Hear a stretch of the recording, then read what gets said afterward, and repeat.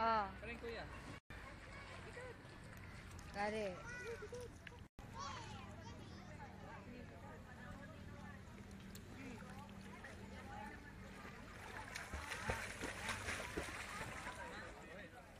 Pakapaka pa yung tildad. ano man na?